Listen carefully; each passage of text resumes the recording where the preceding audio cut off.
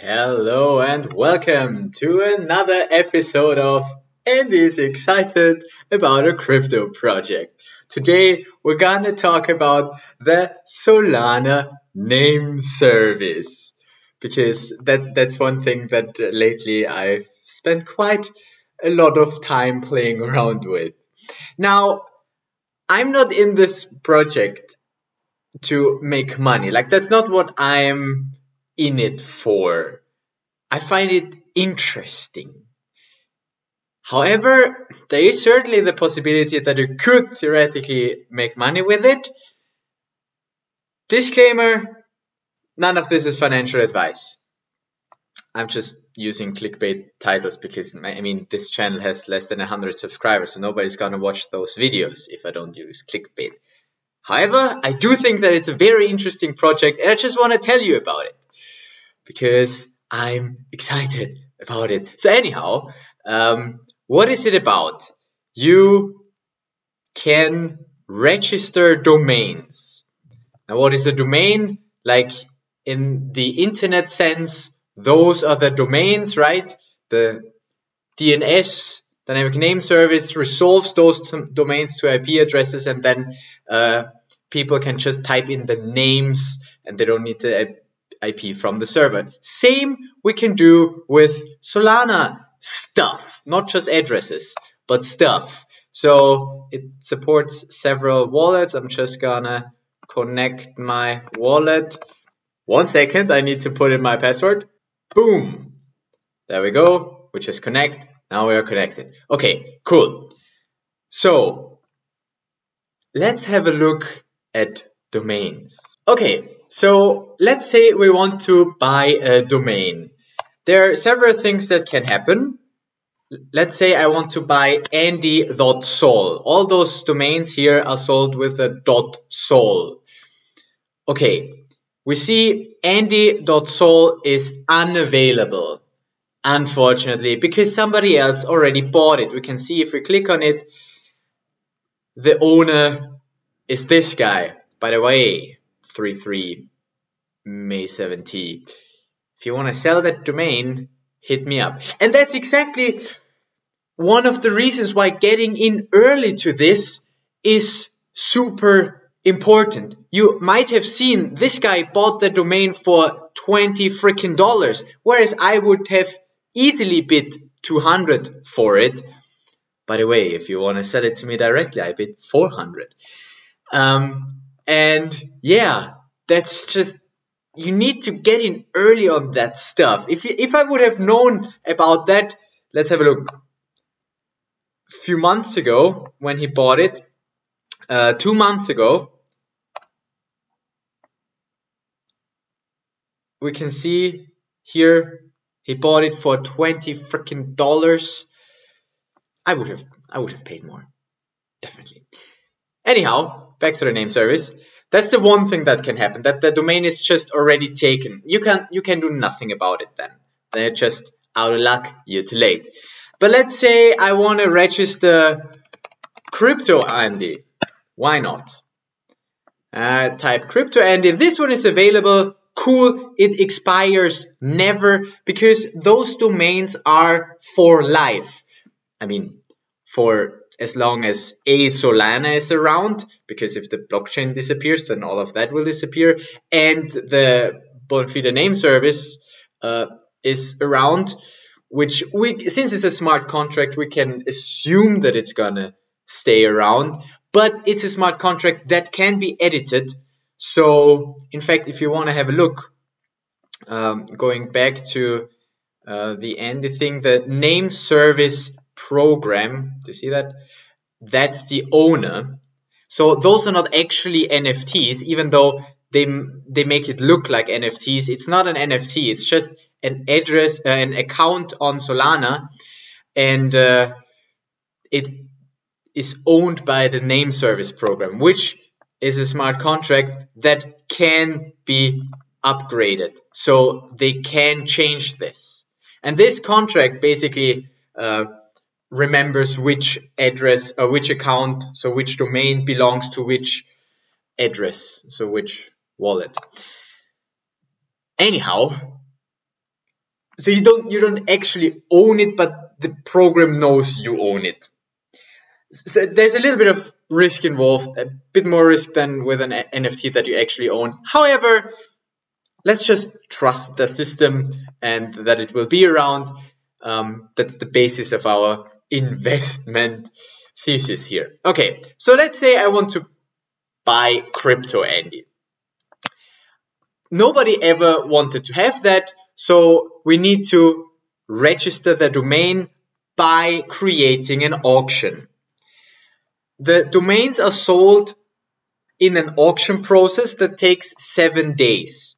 So if I want to have that domain, I need to wait at least seven days before I can get it. And here I need to start the auction and I need to confirm. Then my Sollet wallet will tell me what will happen. Okay, um, I'm like, oh, actually, before we do that, let's write down um, how much. Wow, my laptop is a little bit, a little bit busy. Let's write down how much Solana we have in our wallet um, because even though Solana is quite cheap, it does cost us some SOL to do all those things in transaction fees and more importantly, creating the accounts that uh, always cost some. So back to here and here, we confirm that we actually want to do this, approve, and then the auction was created and it lasts seven days. So in seven days, this auction will end and the top bidder will get the domain. Okay, so we need to bid on it. All right, let's place the bid. The minimum bid is $21. Actually, it's 21.0001. It must be above $21. And I like to do it like this because then it looks like it's 21,000. Anyhow, um, so again, to submit a bid, you have to click here and then an account is created here. That's something that costs. Okay. And then another transaction will be needed to actually move the money there. That's this one. And we also approve this one. And then we get the message, cool, you now bid on cryptoandy.sol right? See how it looks like it's 21,000? Anyhow, um, and in a week, this might be my domain. Might be. Not sure. Somebody might outbid me. Who knows? Yes, so that's the second thing that can happen. The domain is available and you can start an auction. Then the third thing that can happen is an auction is already happening. So, for instance, um, yeah, all of those, those are already happening. Sam Bankman Fried, apparently. So we can see people are trying to to you know get domains that they might be able to resell later, but is he gonna want to have that with a capital S? Who knows? Anyhow, if I were to search for this, and find it, then we see the same um, the same mask and we can bid on this auction now. It's always 5% more, so if the bid here is 23.2, then the min bid is now 24.37. I think I don't have enough money anymore for that. Let me quickly get some USDC. Meanwhile, uh, let's have a look at the. Yes, that is a very sexual name that you have there, Satoshi Nakamoto. We can see that people are trying uh, to get domains that they might be able to resell at a later point because who wants to use that name by themselves, right? Nobody. Like, I don't think, like, people are just trying to get things that they can resell or some of them are in this case i think those are examples for that. And it's here. Okay, cool. So cool. We have some operating budget again. So we can go back here and uh, bid on those auctions. Let's just bid on that just for fun. So we see it's only 50 seconds left. So we're gonna sneakily bid 25 US dollars. Submit that. Then of course, I said submit that. Oh, invalid the domain name. Interesting. Interesting. It won't even allow me to do that. Somebody is try. Okay. In, in, very interesting. Somebody apparently hacked the system to get access to that. Another note on that, I just read up about it. Only lowercase domain names are allowed and the dev team outbid every single one with an uppercase character and they will be therefore removed. Right, so let's find a domain that is proper, that just has lower uh, case letters.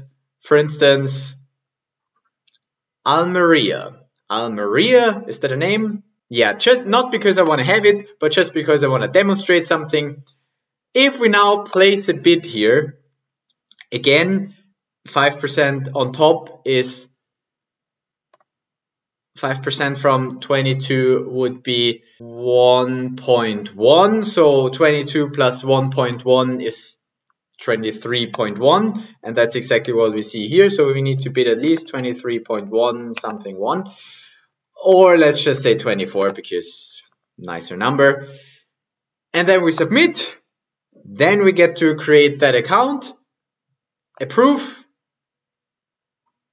and then we need to approve that. And now you've seen the counter was already below five minutes, but now that a new bid was created, it's bumped up to 10 minutes again, such that nobody can snipe the domain last second.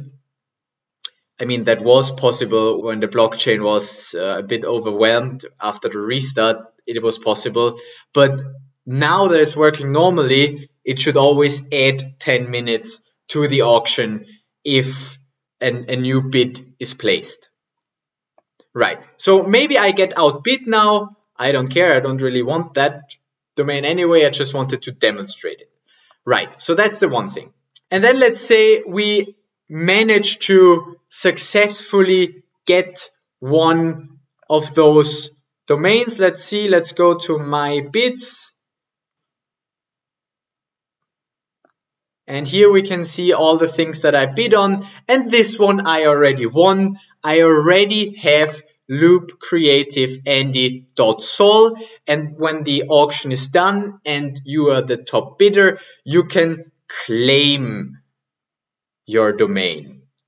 And then you get to this message. When I first read that, I was like, what? You gotta pay rent, I thought it's a one-time payment and then it's mine. And that is the case. It is a one-time payment, but Solana has this concept of rent for all their accounts. Basically, it just means that you need to invest a little bit of SOL to get an exception for those rents. So to be um, uh, to not have to pay rent I can go in a little bit more detail about Solana rent in another video if you want. Let me know in the comments because I did do a deep dive into that. And I actually found out that uh, we are not paying enough rent here and there was a bug in uh, the, the Bonfida code. Um, but I told the developers about it and then they fixed it. So by now it's working properly. Okay, so why does it give us that choice? Basically we can store stuff on our domain.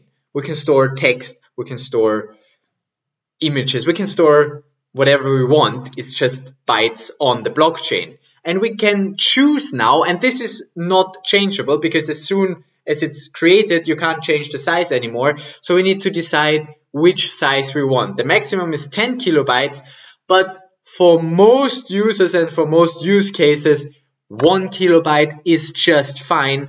And one kilobyte, I have to pay 0.008 Sol in order to keep that account open.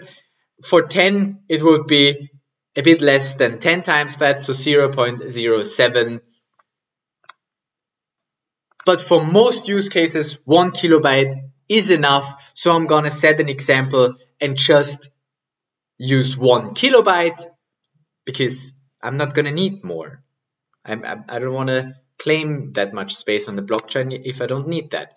Again, you approve that, you pay those 0.008 SOL additionally, and the money that you invested for the bid will get moved to an account from Bonfida and they will uh, do token buy and burns. So the money will be used to buy burn tokens, FIDA tokens. And when I claimed it, my $20 are gone and I am now the owner of this domain. Woo! We own a domain. Isn't that cool? Yes, it is. Yeah, it definitely is. Because what can we do now? Well, we can set content to this domain. And you can do simple stuff like text, hello world, or I don't know, check out youtube.com slash dftb dftbandy. Confirm? That's one transaction and it just costs me the transaction fee and it sets the data, right? So that's the data in binary that I want to set. And I hit approve and boom, data is on the blockchain. Now, if we have a look at the actual account on the blockchain, oh yeah, wait, I now I now accessed here is the account, so that's that's the one. We can see that the name service program is the owner. It's not me. Nothing changed in my wallet really. Like in my wallet here, nothing changed. I don't have anything except if I look here, I can see my domains. Isn't that cool? But it's it's nothing that like it's not an NFT. It's just in a smart contract. Anyhow, back to that. Now back to that. So here we see one kilobyte. It's 1000 bytes plus a little bit of metadata the, the header for the account. And that's what I had to pay for to keep it alive. In fact, if you want to if you want to dive a little bit more deep into Solana rent, Solana rent for 1069 bytes, I ha I would have to pay 0.0000233 sol per epoch, so every two days. And in order to not have to pay rent, you need to have that much SOL on the ad, on the account. Then you don't have to pay rent, and that's exactly what they're doing. That's exactly uh, how much we put here, such that we don't have to pay rent. Okay, that's the technical fun stuff for me. But now to the fun stuff for you. What do we see here? that was the transaction, the last one where I set the content and it basically just cost me that transaction fee. So from now on, it's super cheap for me to change the content. I can do it as much as I want. I can edit this and I can set it to, let's say, my address. Let's do that. We set new content, confirm, approve, and then the content is a Solana address. Now that we have that, maybe make it a little smaller that you can get to that arrow here. Now if I click here, it will bring me to the Explorer that already decoded this address. That's my address now. But way more interestingly, what I can do now is I can use my domain name to receive tokens. I mean, the wallet needs to support that. They need to look up the name, but Phantom Wallet and Sollet.io, they both do that. To demonstrate, let me again log myself in. Okay, we are logged in and we could now send loop tokens. Send to loop creative andy dot sol and we send like 9000 because I can that's why at the moment I have one loop token here and let me guess I need to type all of that again 9000 tokens next and this address will be resolved with the SNS, the name service, and we can hit send. And drum roll. It is sent. And drum roll. We have the nine, over 9,000 loop tokens here. So it worked. I did not have to put in my address. I just had to type my domain name.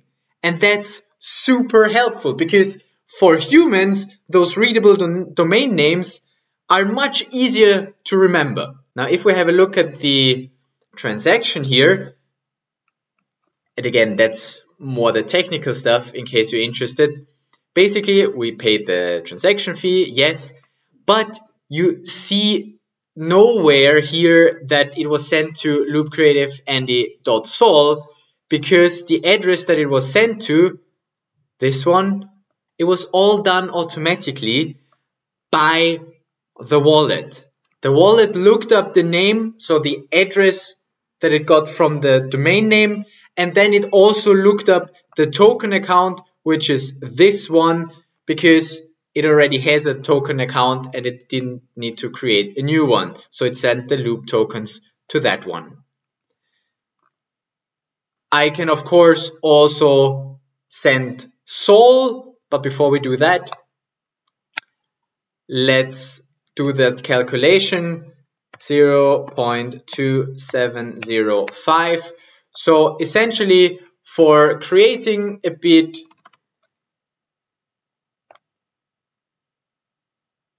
we had to pay 0.0234 uh, Sol for all of the things that we did. That was creating an auction, creating a bid, doing a second bid, and claiming a domain with one kilobyte. And at current prices of 132, that are three dollars. So it's not nothing, but if you compare it to Ethereum and the gas fees there, it's still affordable. Right. So we can of course also send some Sol to loop creative andy.sol.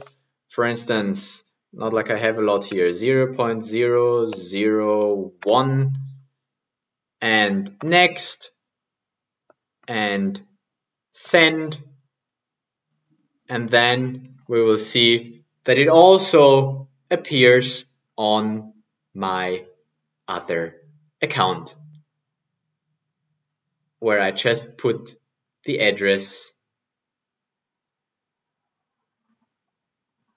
there we go I just had to put my address into the content field of this account, so this domain.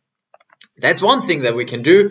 Another very cool thing about having a domain is I can make as many subdomains as I want. For instance, I could now do donate.loopcreativeandy.sol and it creates another another domain. Per default, it has two kilobytes of storage. Every subdomain has two kilobytes of storage. Let's have a look at that. Um, I added it and it's still a bit complicated to get there. I need to actually type it in here and then we can see, yes, I own it. It's my domain. And again, I can set an address here that I want you to donate to. For instance, my standard donation address. Boom, confirmed. And now if you send funds to donate.loopcreativeandy.sol, it will be sent to this address, which is super cool because I, I can do as many subdomains as I want. And let's have a look at it. Per default, it's created with two kilobytes. So it's a bit more expensive to keep it in the storage of the validators. So you need to pay more to be rent exempt. Yes, that's that. Isn't that cool? I, I think this is so cool and the things that you can do with you don't just you, you can you can do also other stuff not just addresses to put in here you can have can have entire images, smart contracts, any kind of data that you want to put on the blockchain, you can put in there because that is then stored on the blockchain. I don't know, maybe it's just me who finds that so interesting, but I do find that interesting. Anyhow, maybe you're more interested in making money with it. Okay, then uh, let's talk a bit more about getting domains. One of the big advantages of uh, registering the auctions yourself, even though you have to pay for the registration process, which is a bit under a dollar, it gives you the big advantage of being able to set the time when the auction is ending. Because as we saw earlier, the end is where it gets interesting. Because there you can defend your domain and outbid the others who increase the bids, right? So, because if I were to search for 1992, for instance, somebody else created that auction and uh, it ends in four days and 20 hours, which is for me the middle of the night. So I will not be able to be there to bid on that at that time so my only choice is to now already outbid it by, I don't know, putting $42 here. Which I'm not gonna do because that money is tied up until the auction ends or somebody outbids me. Speaking of somebody outbids me, no, not my domains, my bids. Did somebody outbid me? I hope so. Nope. I now can also claim this domain. Um, I was hoping that somebody outbids me so let's have a discussion of things that you can register as domain names. Obviously, it started with just lowercase names. That's the simple thing, and that's what I want, right? I want speaking names that are simple. Also, I really like short things like .ac.sol would be great, but that's of course already taken.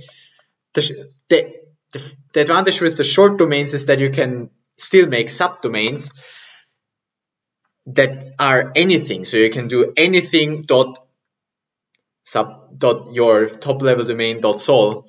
So that's why I really like small ones. Um, you can do numbers. For instance, this one, which is 42 in binary. And why not register it? yeah, why not? I wanna, I wanna get that started. Cause it's fun. That's why. But I don't even need to do a bid. I can just register the auction and not bid on it. Mm. Um, and then you can also do emojis. For instance, I don't know how to type emojis. Rainbow emoji Fuck off. Yes, that's how I type that. You can also do emojis. So for instance, a double rainbow. Oh, that's available. How nice. I'm gonna register my double rainbow.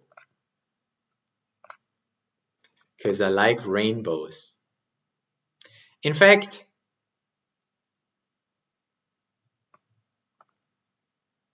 I could be spamming uh, with auctions now, right? I like rainbows. The, not every emoji is supported though, so rainbow flag emoji. Unfortunately, this one is not valid. You can't register that. That's invalid input. What you can do is create the um, the flag and the rainbow. So flag and rainbow. That would work. It gives the warning that one of those characters might not be displayed properly. And that warning is good because in some cases there can be like white space in there and then it looks like it's that domain, but it has some special characters in there. So be careful when you actually buy domains that you didn't register yourself. It, there can be some special characters in there because the crypto space is full of scammers. Anyhow, I'm gonna register that anyway. If somebody wants a flag rainbow, I'm not gonna bid on it. I'm just I just want to create auctions because I like it. In fact, I want to create more of that rainbow stuff. I wanna I wanna spam rainbows. Spam rainbows because I like rainbows. See, I'm for me this is just a game. This is just a game of excitement. One, two, three, four, five. I want rainbows. I want more rainbows in my life, and I want more rainbows everywhere. And uh, so I'm willing to pay that little bit of SOL to register more more rainbows more rainbows one two three four five six this is this is ridiculous but uh, i enjoy this i at the moment i if i get in the process of getting super into something then i'm gonna be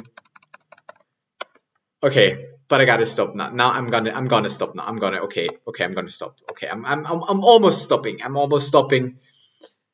And I stop. But what I just did now is one strategy that can be used to hide another domain. Because people usually buy from the ending soon like or at least that's what I do I have a look at the list here oh what domain could I possibly snatch here right um, and sometimes people spam a lot of auctions just to hide something else. I mean, that's what I imagine that they do. Maybe they just spam that many auctions because they think they can actually sell that. Um, Oh, I we need to still talk a, a, bit about that. But let's let's have a look here because I want to see how nice that looks now. Does it not? It does not. There, there. Look, look how much I spammed. yeah. And let's say I want to register a domain like, I don't know, spam, spam.sol, and I registered right after I created all of those spam thingies, then this might not be seen until the others disappear and then it's only a short time that is actually seen on this page with all the auctions. So yeah, that's that's something that does happen sometimes. Now, one thing that we did not discuss though, actually, is how to actually make money with that now. Actually, first, let's get ourselves that other domain that we didn't actually want, but let's claim it with one kilobyte because for most cases that's just enough. If you want to resell it, maybe you should take more, maybe even the 10 kilobytes, because some people, if they buy it, they might be looking for something that has the 10 kilobytes, and then uh, it does make sense to, to invest that. So now that we have that, which we don't want, or which we think somebody else could want more, we can sell the domain, right? Actually, I never did that before. So it's the same process again. You start an auction and you can define your minimum bid. So let's say I am willing to give this away to make a little bit of money. I also pay 5% fees to Bonfida. Um, so to not make a loss, I would sell this for, I don't know, let's, let's be greedy and say 50. Okay. Maybe, maybe somebody actually pays that. Who knows? Um, and I select the date. Yes. Uh, today. Wow. I actually really never did this. This is great. Great freaking end date would be today. Oh no, end date would be, let's say, in a week. Perfect. Next. And I confirm. Yes. There we go. Creating yet another auction. And boom. Wait. Wait for it. Wait for it. Wait for it. Wait for it. Wait for it. There we go. That's what I wanted to see. So we now have created another auction with seven days, but you can define how long you want the auction to run. And that's exactly how you spam in a way that you defend your uh, auction that you want to win. Um, and again, you don't and if nobody bids, it stays with you. If nobody bids on my rainbows, then it goes back to being available and somebody else can create that auction. But yeah, that's essentially the whole process. If somebody bids more, then after they claimed it, I get the USDC from his top, top bid minus the 5%. Uh, and that's basically how this works. That's that's the Solana name service for you. I think that's everything that I wanted to discuss in this video. If you have any further questions, leave them in the comments below. If you found this video helpful or just want to support me in my channel, make sure to subscribe, hit the bell, or maybe don't, I don't, I don't care. If you found it super helpful, helpful to the degree that you want to monetarily support me, you can send some SOL or any kind of tokens, even NFTs, to donate.loopcreativeandy.sol because that's my official donation address now. You will also find uh, a link to that in the description below. Thank you so much for watching and supporting me, and uh, I will see you in the next video. Till then, stay interested in that crypto space because there's so many interesting things happening. I just need to find out about them. Right. I'll see you in the next video. Peace.